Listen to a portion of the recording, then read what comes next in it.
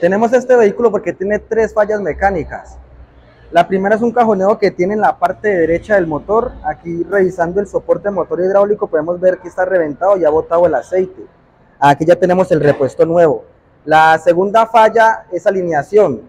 Tenemos los cuatro bujes de tijera, los dos de puño y los dos de presión, ya que los que tiene están reventados. La tercera falla son las bieletas. Esto produce ruido en la suspensión. Vamos a proceder a cambiarlas para que tenga el síntoma que tiene el vehículo.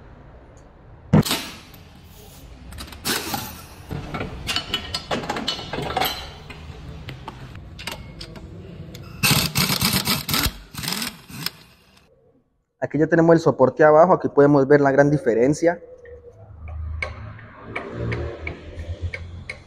Aquí podemos ver la grieta que tiene, por aquí fue que botó el, el aceite.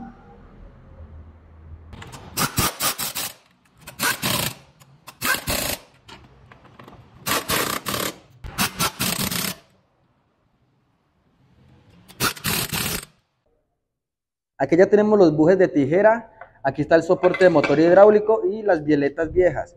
Aquí ya tenemos los bujes de tijera instalados, ya con eso se le corrige las fallas que tenía el vehículo. Vamos a proceder a instalar la tijera para que trae el síntoma que tiene el vehículo y de la alineación y balanceo.